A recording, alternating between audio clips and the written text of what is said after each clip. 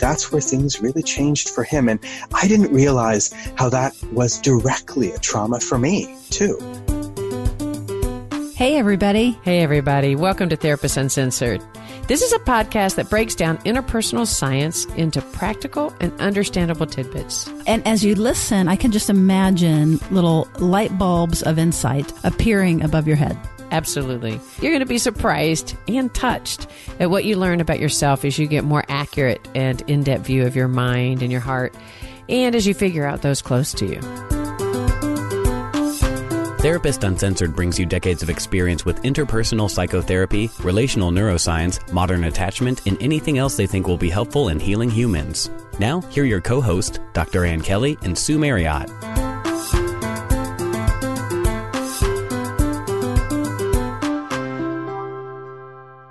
Hey, everybody, this is season three and episode 90. I'm Ann Kelly. And, you know, as therapists and as friends, we are often trying to encourage people to open up, but sometimes it can be really a hard thing to do. And today's guest is going to talk about why.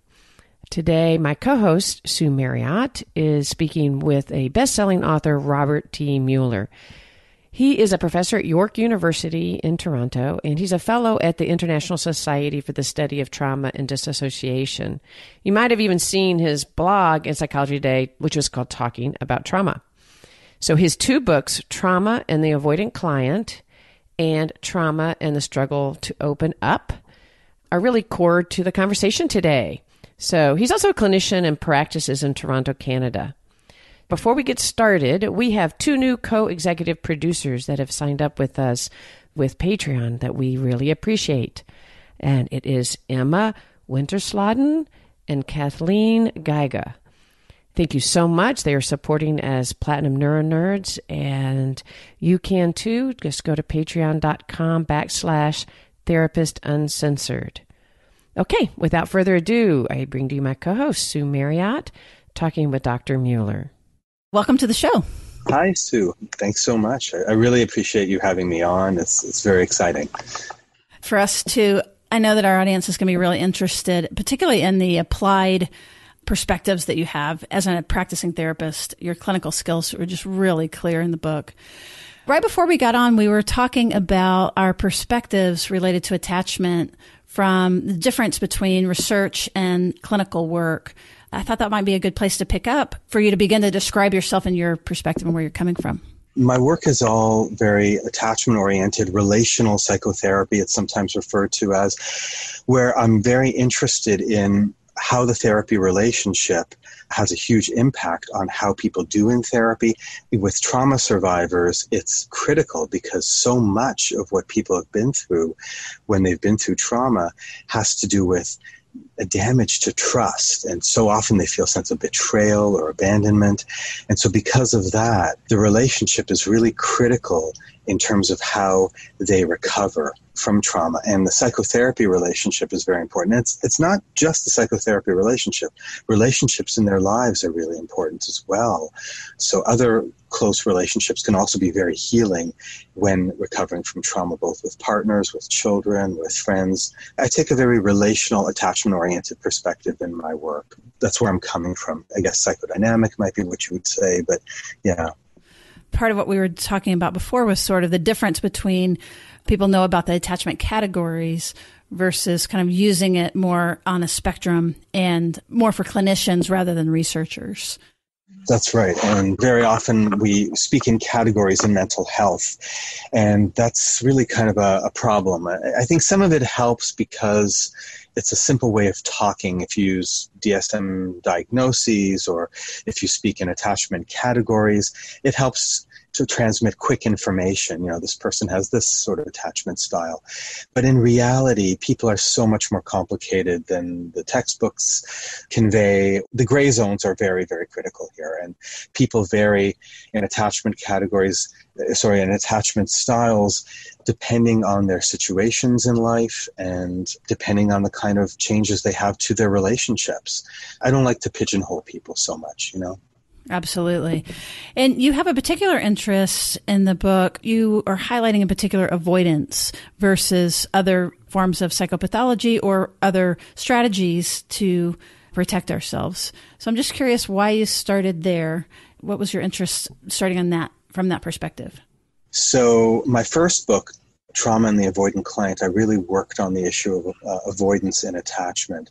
But in this book, I look at it much more broadly. I'm not just talking about, quote, avoidant attachment. I, I use the idea of avoidance. I refer to it actually in the book as self deception what I mean by this is that there are certain strategies that we use that help us survive. And sometimes when people have been through trauma, the truth can be unspeakable. And when the truth is unspeakable, we edit the truth. And that's just a strategy that people use to survive. Avoidance is something that we see in families. We see this in institutions where whistleblowers who speak the truth about some ugliness in an institution often are seen as troublemakers. We see avoidance because of the phenomenon of family loyalty, where people stay the course in a particular family because the uh, family reputation is so important and they're so afraid of upsetting the apple cart.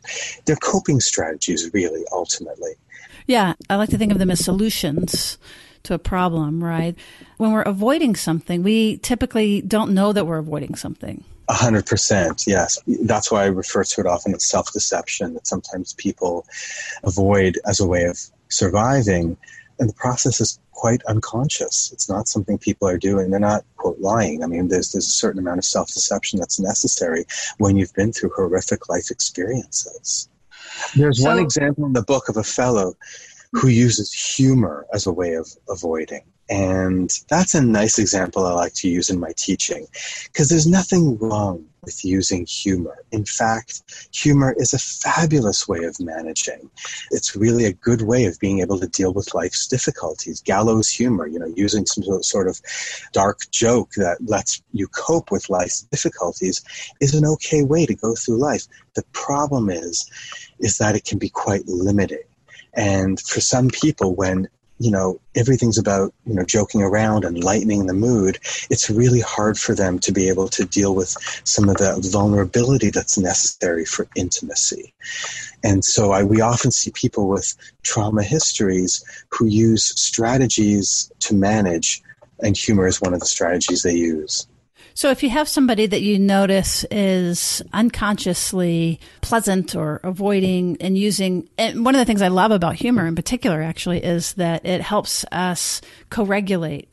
So there is a way that it can cool off strain. But when you notice it being used defensively, can you speak a little bit about what your approach may be? The first thing is to notice it. I don't want to take away anybody's coping strategies. Coping strategies work because they, they work. I mean, they're the strategies people have used to survive. So you don't want to take away somebody's coping strategies, but what you want to notice is whether the person themselves is feeling some ambivalence. So the fellow in the book, uh, Nicholas, is the case that I use in chapter two, I believe, where he uses a lot of joking around, but where there are difficulties are in his relationship with his partner. He's never had a long-term relationship. His partner is the one who told him, "You need to go for therapy," or "I don't, I don't know what I'm going to do with you."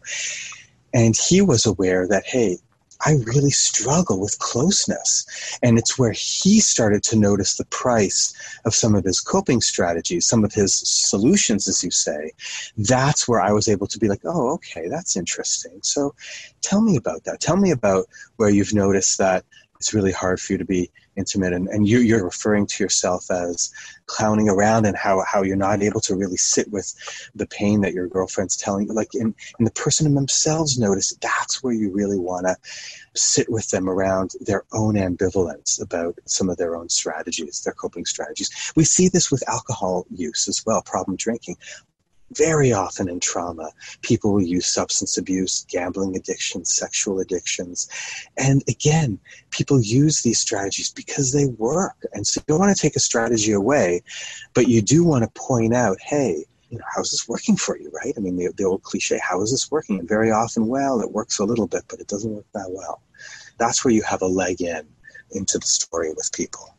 I really love your approach because part of what you're doing is you're making it a bit more conscious and then you're still giving them the choice. But when we're doing it and we don't know that we're doing it, we don't even have that choice. And you're right, you don't take it away because that can just evoke more defensiveness. but rather I can hear this a very gentle inquiry that can begin to get the wheels spinning and help people be a little bit more conscious and aware, as you say. Yeah, that's for sure the approach I'm trying to take. Yeah. So, can you say a little bit more about your therapeutic approach then, specifically related to trauma? What kind of differential diagnoses do you do? And I don't mean diagnosis in the old DSM you know, but it's almost like, can you give us access to your mind as you're sitting with someone about how that you're regulating your approach to help soften that unconscious front that people are putting up? One of the things that I think is really important, and I talk about this in the book, is the idea of post traumatic growth. That people go through these trauma experiences very often, and they go through therapy, and we talk a lot about recovery from therapy. And I think recovery is important. But I had a client say to me, Well, is, is that all I can expect? And I think that's true for some people, but people have different responses to life after trauma. And some people do reach a point of recovering their previous functioning. But other people actually, through therapy, come to a place where they grow from their experiences. And I wouldn't expect that everybody do that, but there are a good number of people who, having gone through therapy, especially when they have been through trauma, they have to do what David Brooks, the columnist, says is face the fundamental elemental questions of life. And I think that that is true, that people who go through trauma have to face fundamental questions about life. And you know why me? Why did i go through that? Why not me? Why was it my sibling and not me who went through that and i witnessed it? Am i ever going to be able to to feel better again? I mean fundamental questions about their life the world and their place in it. And I think when people really face that through therapy, very often they are able to grow from the experience. And again, it's painful, but it does lead many people to a place of change, and it can be quite something and surprising for many people. Well, and I like how you say that it's not that's not a Pollyanna view at all. And I'm thinking about the research that talks about folks that are you know test out as secure naturally, those Bigfoots out there, that actually people who have had to work on themselves and have had to earn security through reflection and contemplation and going through their experiences to make sense of it actually have higher reflective function than people who are naturally secure. And therefore, in relationships and everything, they're able to bring that high reflective functioning and that mindset into their relationships. They're still going to be more vulnerable to certain things. It doesn't erase the vulnerability. But in particular, you know, earned security can enhance connection and relationships more than natural security. That's really, really interesting. I think people who have this uh, sort of characteristic of earned secure, and it's a it's a minority of trauma survivors. It's about a quarter. The research uh, tends to show among trauma survivors, really, it's about one quarter who have that general style. I like to think of them as people who have balance, the ability to tell stories about their lives that have uh, some reflection in them, that have some ability to look at both sides of the coin, that don't get them so caught up in the pain of their story that they're doomed to either rebel against it or repeat it or be a victim to it, but rather they're able to look at their life history and say, okay, this was painful. This was a horrible chapter. I'm going to learn from this. I'm going to try to understand it. And so it's an okay place to be. A lot of people really struggle to get there, and therapy can help. You know, in our research, we found that in Women's College Hospital, uh, in one of our studies, that a lot of people who had the avoidant attachment pattern or the preoccupied attachment pattern were able to move toward this earned secure attachment pattern with therapy, with trauma therapy. Right. You mentioned your research. Can you say a little bit more about that and things that you've learned through the research? A lot of things, but one of the things is that trauma is very tenacious. We did a whole bunch of studies over the years. I mean, I've been at this for about 25 years, different kinds of studies on trauma survivors who, who are in therapy, trauma survivors not in therapy, children, adults, families where there was trauma. And it's really remarkable how wide ranging the effects of trauma are. They're negative, they affect people emotionally, they affect people in terms of relationships. Trauma histories uh, where there was abandonment and loss and betrayal, those tend to affect people in terms of academic functioning and work functioning. It's a powerful life experience that has a big impact on people. But having said that, the other very important thing that I've learned is how useful psychotherapy is. And yes, I'm a therapist, and yes, maybe I'm, I'm coming at it from that perspective, but we've looked at studies, we've done studies where there was random assignment of people to groups. We've done studies where we looked at naturalistic outcome in therapy. We've looked at children and adults. And we've looked at people who are adults reflecting on their therapy experiences and people who stick with therapy if they have a therapist who listens, who is patient, who is not trying to rush them along, and who's able to value the issue of trauma, like who's trauma informed and doesn't want to talk about it and get over it, but actually sit with it and pay attention. If you have a therapist like that and you can trust that therapist, wow, therapy can be very healing. I've been shocked at times by clients who I would think, wow, I, I, I, would not imagine that this person could get better. And they do. And again, it's not 100%. No therapy is. It's not 100%. But it can make a difference that can be enough of a difference that you really feel it as a change in your life.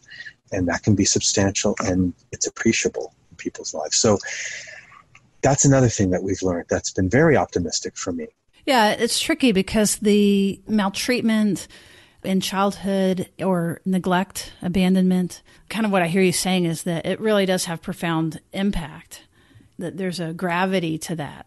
Yet at the same time, what we're discovering is that it's also, fortunately, due to neuroplasticity and things like that, that there's hope.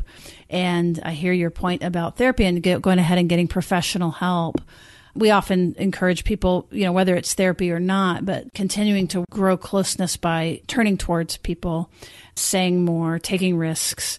But I agree when it comes to trauma in particular, that that's where that you really need to get somebody who knows what they're doing with all the f- factors that you just mentioned.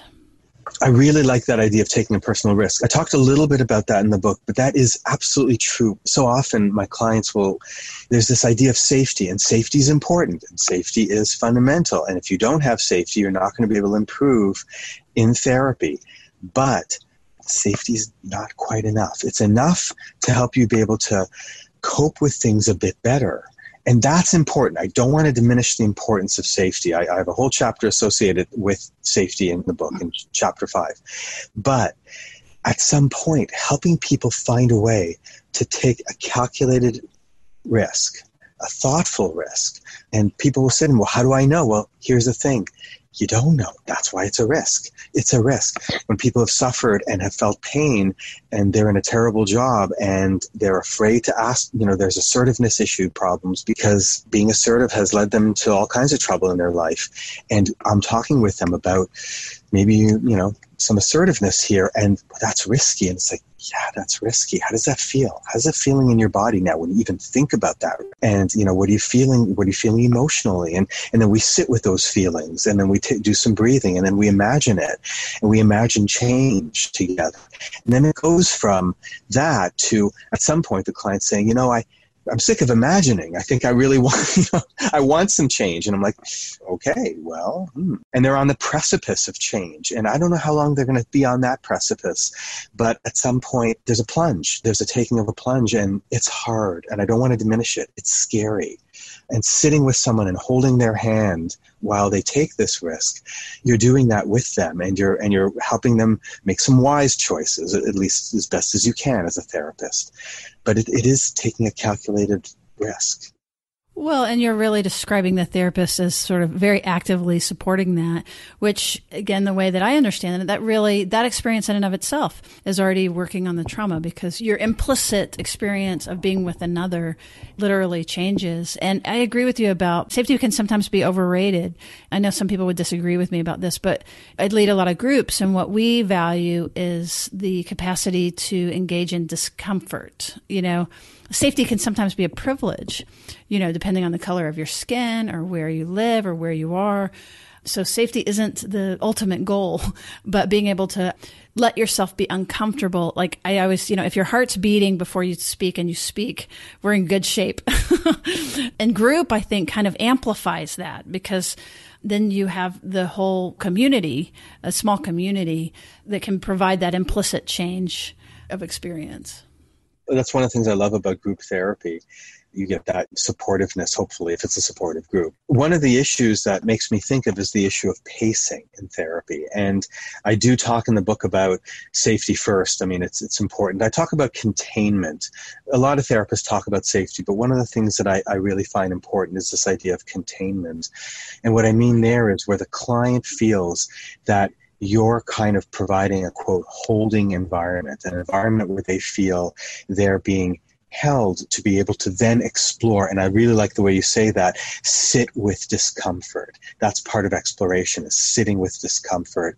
Whether it's taking a risk in a very concrete way in their outside life, or whether it's taking a risk by examining a painful aspect of their past that they hadn't really examined before. You know, why did I do that? I'm, the person wonders to themselves, was it my fault that such and such happened?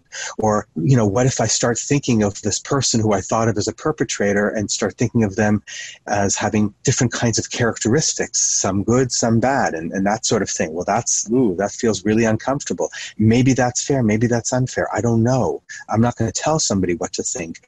But when they start to sit with discomfort and can tolerate it, then questions about trauma come to them that they hadn't asked before. And they're painful questions. You know, like very often things around blaming themselves is very often a, a thing that comes up a lot for people. And yeah, providing a containing environment allows them to do that exploration.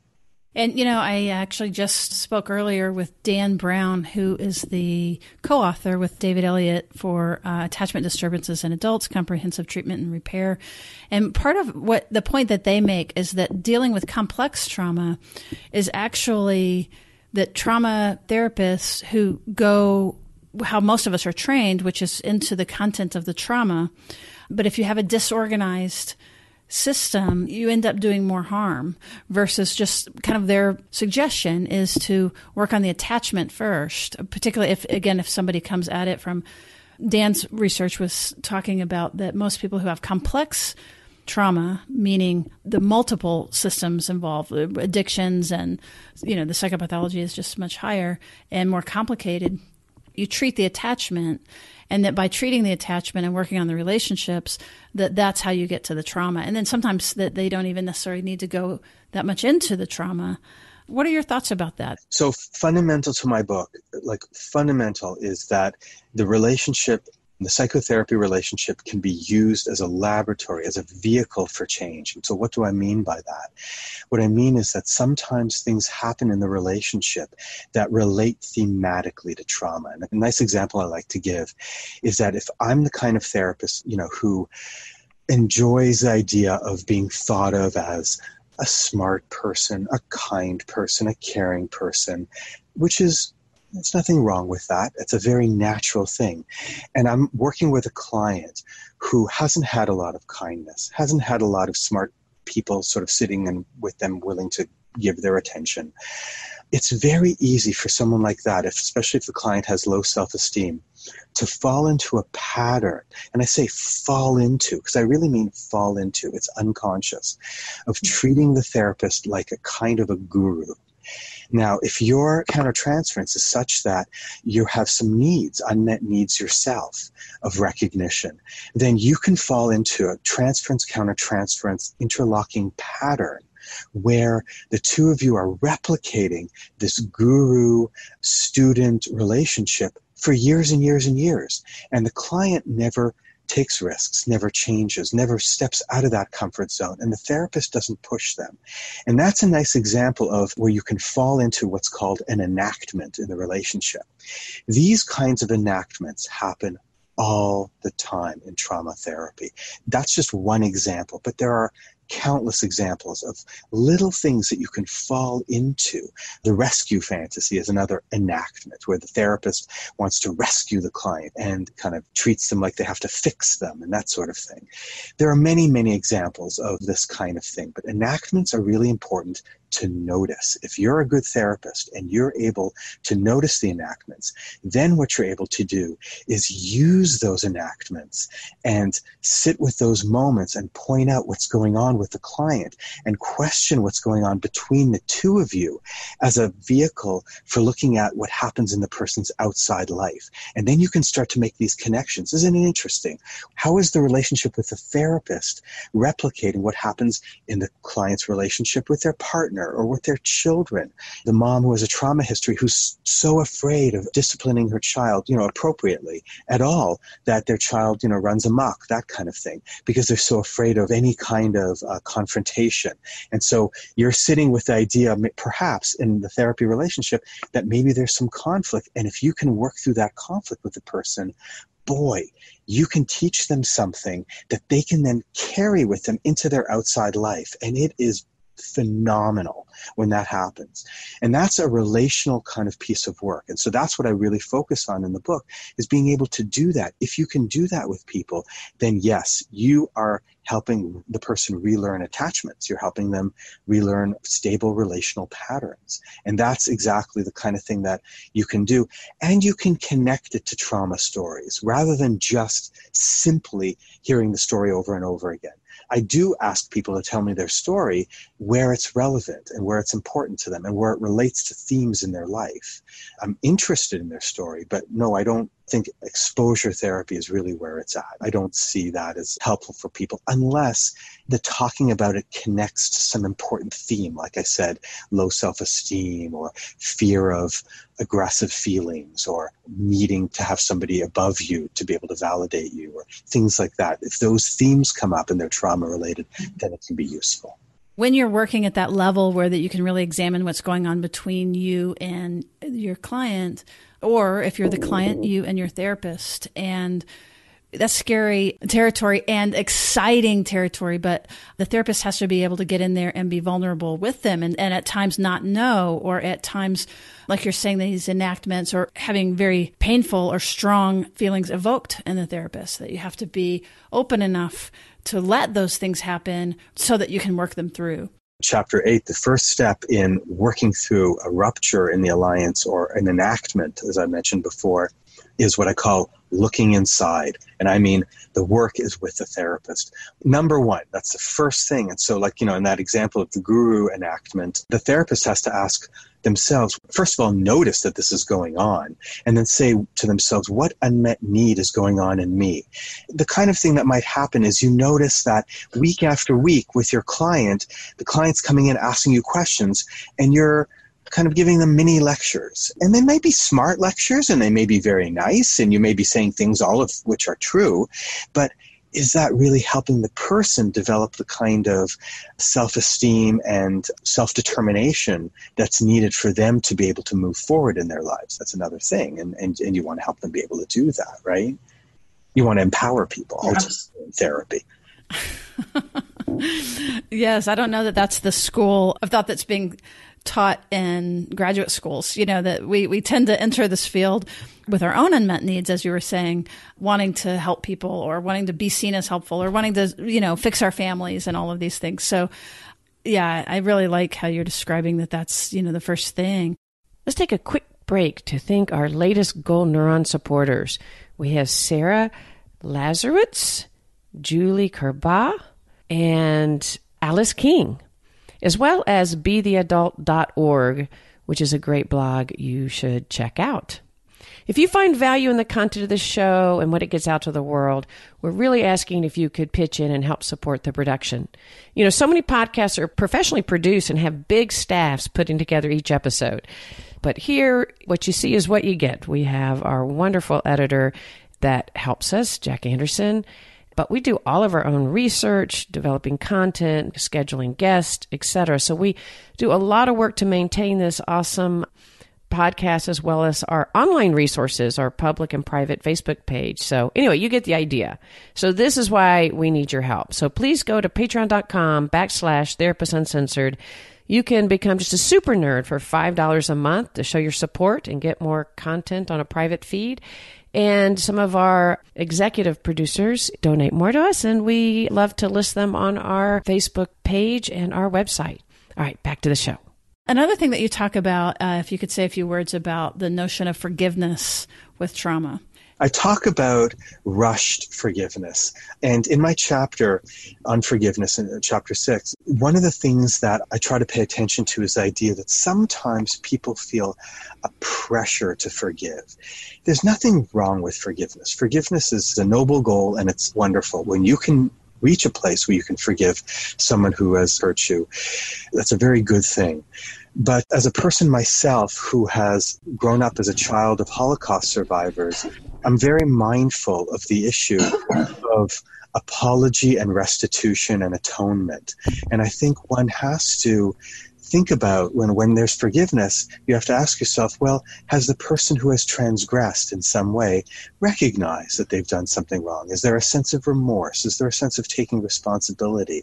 I see this a lot with couples that I work with, where there's one person who's saying, you know, my, my partner had an affair. What's wrong with me? Why can't I forgive them? I'm just so always upset with them, you know, and I say to them, well, you know, what did your partner say? And it turns out very often it's kind of a lame apology that the partner gave. And part of the work has to be, you know, is there a taking responsibility for what happened? Once there's a taking responsibility, then, you know, I think it's fair to ask yourself, can I find it in my heart to forgive? But what happens often with trauma survivors is rushed forgiveness, a sense of pressure to forgive. And part of the rushed forgiveness is trying to be able to get over the trauma quickly. And again, we cope with trauma in different ways. Getting over it it's not really the way we recover from trauma. We have to deal with it. We have to feel the pain. We have to feel the loss. We have to wrestle with people who, you know, emotionally and verbally, we have to wrestle with the relationship with, with people who, who have harmed us in some way and, and figure out what we want to do about that relationship.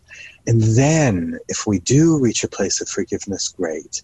I concern myself when people try to put pressure on themselves to forgive. That's where I, I feel concerned you mentioned your own personal history and being in kind of a, this lineage of people affected by the more directly lineage of people affected by the Holocaust. What are your thoughts about how your own personal history impacts you now as a therapist?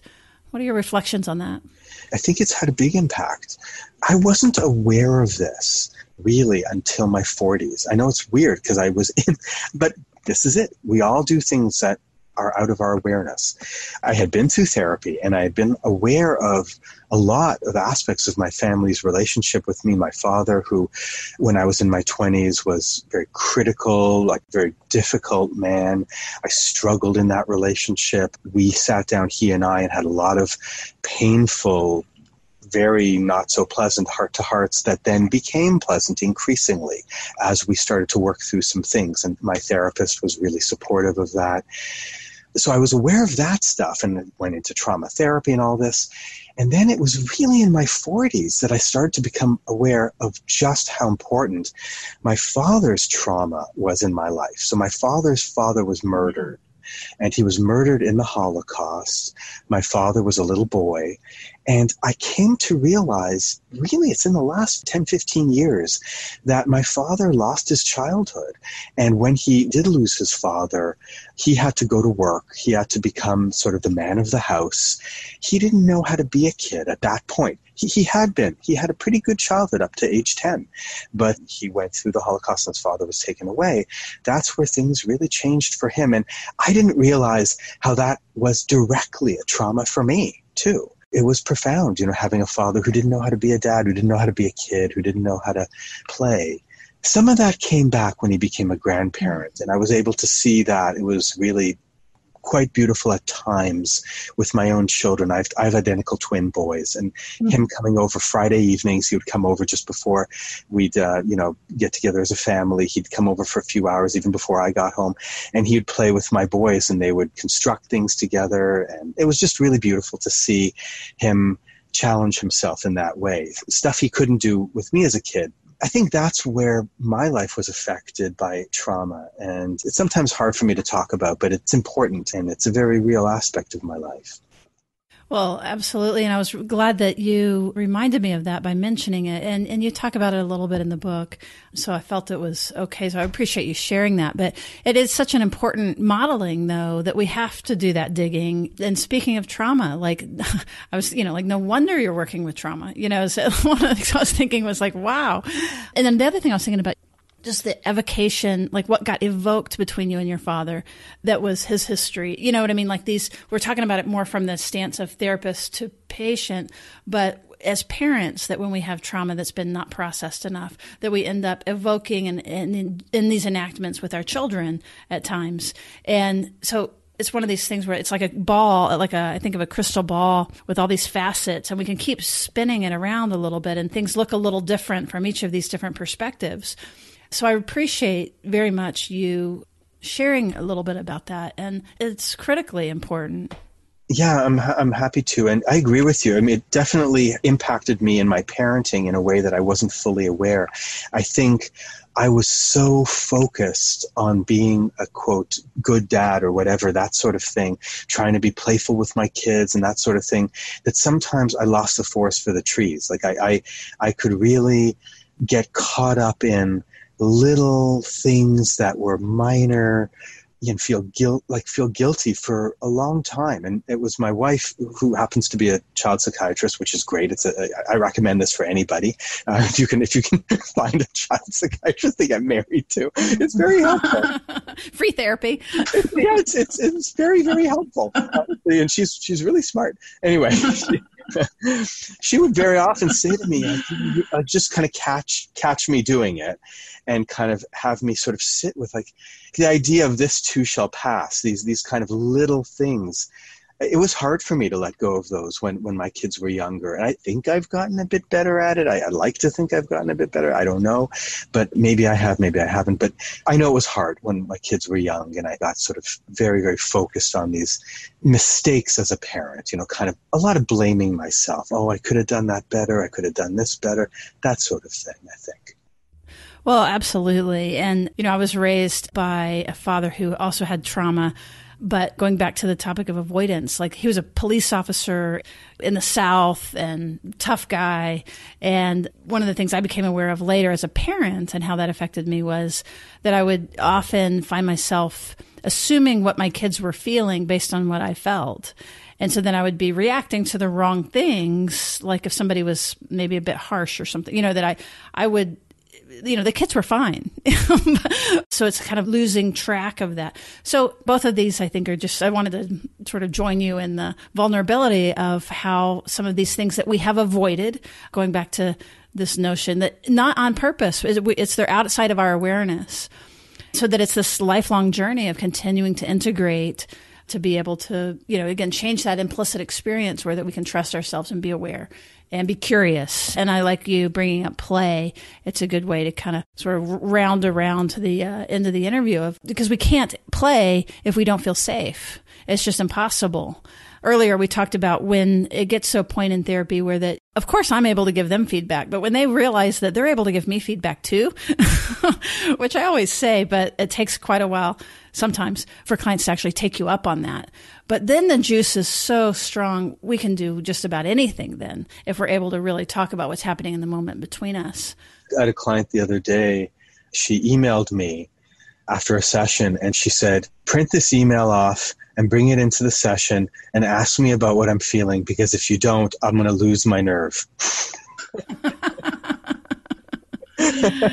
so so I printed it off and I brought it in and I said, okay, sounds like you had a lot to say after the last session. And, and she, she was like,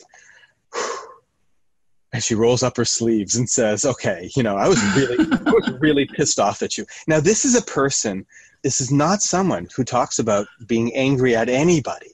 So this was huge. I was, I mean, first of all, yeah, I mean, she, there were some things she was upset with me about, and, and it wasn't exactly pleasant to hear. But boy, I had to resist the temptation to stand up and, and shake her hand and say, Thank you for finally being mad at me. you know, like, but it was good. It was a helpful moment. And, you know, I mean, I did. I sort of sat with it and I was like, okay, what's going on here? And we sort of explored together. And it was just such a nice moment. And in a sense, I felt very proud of her that she could, like, rather than dwelling, and this is someone who could dwell on it for months, instead of dwelling on something like that, she took a risk and emailed me and said, I, I need you to raise it. So she asked for help there. And I did. And, and, and we went forward with it. And we were able to talk through something. I don't even remember what the issue was. It doesn't even really matter all that much. We were able to resolve some. Right. It doesn't even matter, right? Because. yeah, we, we were able to resolve some kind of conflict that there was between us, some sort of, uh, you know, and, and it was really helpful. That, uh, you know, and I can hear, you know, like it's just exciting and fun and pleasurable there's such a life as we talk about that. And I bet you, I'm, I'm, positive actually, that that's true for the client too, that she probably felt so great about that. And that we can be aware that there's something really magical happening where that she had permission to bring her anger directly to you and give voice to it and that it was safe and that you would defend yourself as therapist or interpret her or do all the things that we can do hiding behind our therapist shields that can leave people hanging. But I mean, that's the gold is that rich, relational, live, unpredictable engagement that can happen when people are able to turn and do that kind of relating in the session. It's just like a life force that happens or something and it's a moment that you remember. I find them so memorable for both of you. For both of us, exactly. Like yes. you know, sometimes I have clients. Remember that time that I, you know. Right. So if you're listening and you're in therapy, then these are the these are the ways to get into your therapist's mind and heart even more permanently. as you start talking about how they're doing as a therapist, they're going to pay attention and remember. and that's part of how you know if you're in good hands because when your therapist comes alive at that and is really open and receptive, that's a green light. Like that's really a really good sign for the therapy, don't you think? Because we can teach people all you know oh tell that person what you think and how you feel. But when it's directed at us all of a sudden things can change. Okay so if some of the folks listening want to reach you how is the best way for them to do that? Email is good. Rmuller at yorku.ca i'm a professor at york university in toronto canada that's probably the best way to reach me. I mean, because then I'll, I'll be able to respond. Also, the other thing to note is that I have a blog on Psychology Today. And we will also be linking your books. I highly recommend it. For some reason, I don't, it took me a little bit to pick it up, but once I picked it up, it was like, it's really good. I think that you're a really excellent clinician, and that comes across really strongly in the book. So we would definitely recommend it, and we can put it on our resource page as well. So I want to thank you again. This is Dr. Robert T. Muller. And we encourage everybody to go to the show notes to, again, get these uh, links and resources. You can find that at therapistsuncensored.com. And that way you can follow up and have more access and be able to hear more from him thank you so much. I really appreciated the opportunity to be able to speak with you and to be able to share some of the things that I think are helpful in therapy and some of the, the clients who have had an impact on me. And uh, I really appreciate the opportunity. Thank you so much.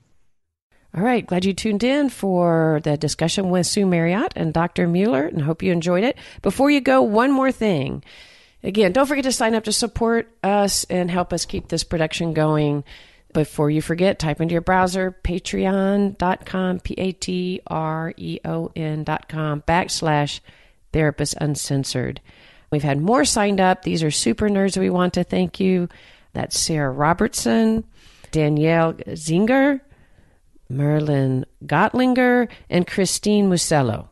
Thank you so much for your support. And finally, thanks for subscribing to our podcast. My gosh, we were so happy and appreciative of the ratings and reviews we get. We're just blown away. Please keep them coming. They really help us get the attention of excellent guests for the future. We have a podcast coming up very soon discussing both polyvagal theory as well as addiction. So stay tuned for more good content, and we'll see you around the bend.